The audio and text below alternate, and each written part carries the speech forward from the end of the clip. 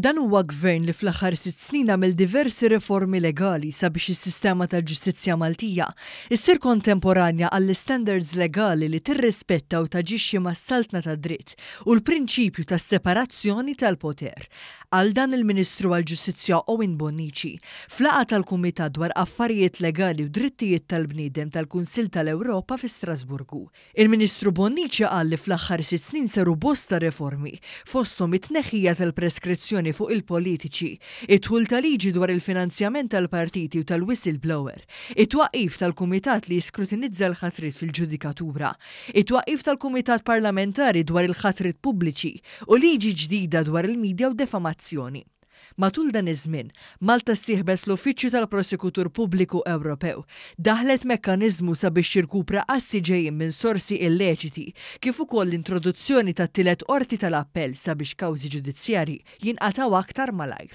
Il-Ministru Bonnici qal li pajjiżna beda l-proċess sabiex jimplimenta l-konklużjonijiet tal-Kummissjoni Venezja, fosthom dik li jinqasmu l-funzjonijiet tal-Avukat Ġenerali u l-Prosekutur Ġenerali, f'żewġ uffiċċji distinti minn xulxin.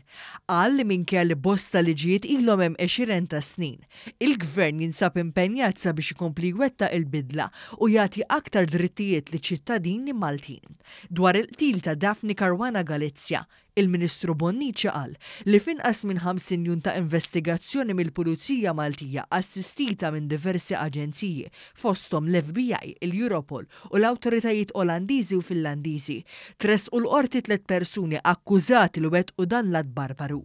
Qal ukoll li l-investigazzjonijiet għadhom għaddejjin sabiex jiġi stabbilit min ordna l-qtil tas-Sinjura Caruana Galizia.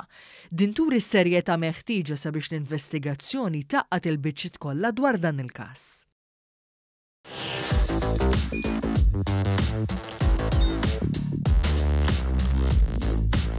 Idħol fuq one.com.mt u hemmhekk tista' tara l-programmi kollha li jxandru fuq One permezz ta' One Play.